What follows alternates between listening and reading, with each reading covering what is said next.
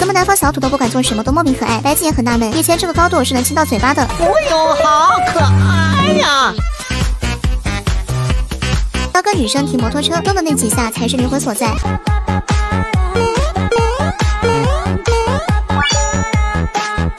小土豆爬冰墙，不的那两下简直不要太可爱了。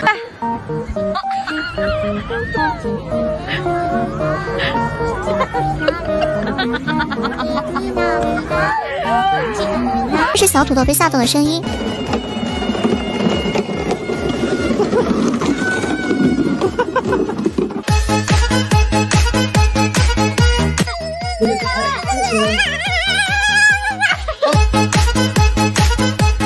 小土豆也可以骑大摩托，身高不够，铁骑来凑。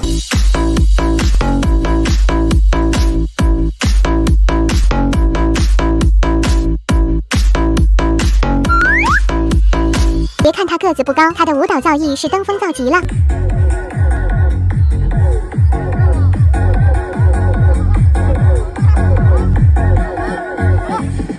这句玩手套呢，跟我学一辈子了。玩的开心啊！谢谢阿哥，南方的小土豆，谢谢叔。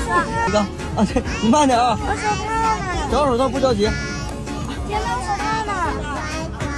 拜拜。谢谢大哥。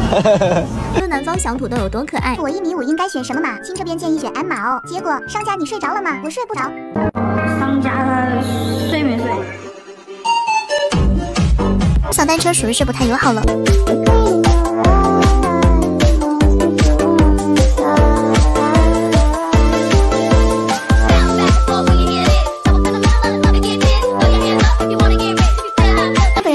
看到南方小土豆变成了痴汉，别把哈尔滨笑开春了。这两个小土豆，你就说，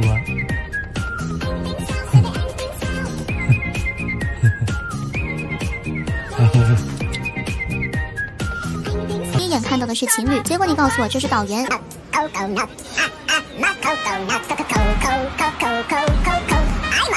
大概明白为什么东北人会喊他们小土豆了。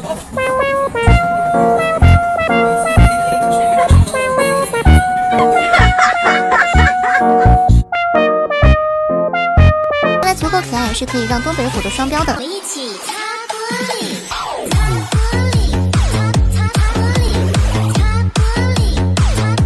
当一八五的男生和一五五的女生走在一起，男生走那么快，女生腿都快蹬冒烟了。飞机呀飞呀飞，飞到了路当边，带我去看落日晚霞，还有开满花的田野。他们第一次看到铲雪车，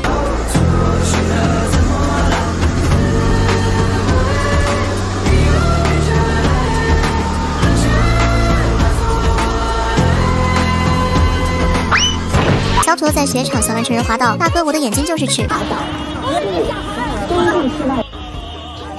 哎呦，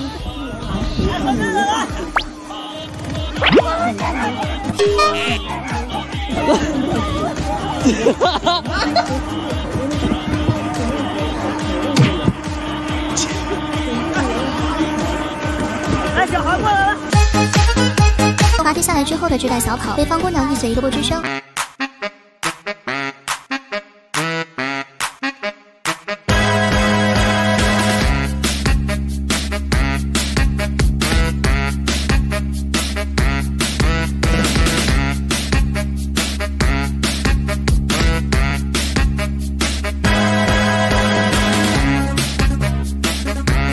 这袋水果要是没他都拎不回家。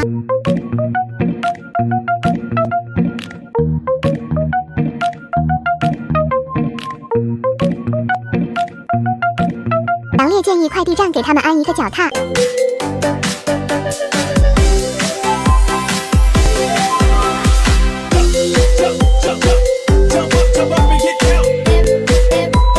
走了那几下，快要把我迷成智障了。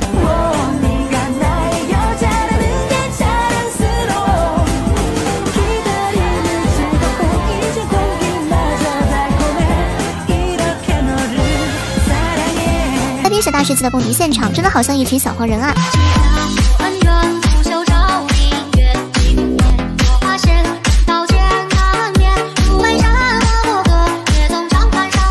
起猛了，看见会自己翻面烤暖气的土豆了。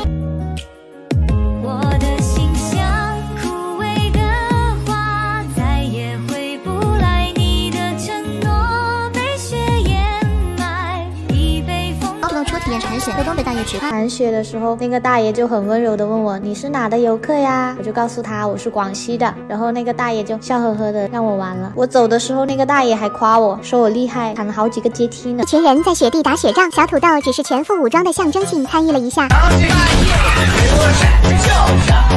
突然袭击我，袭！一个右边，一个左，一个边。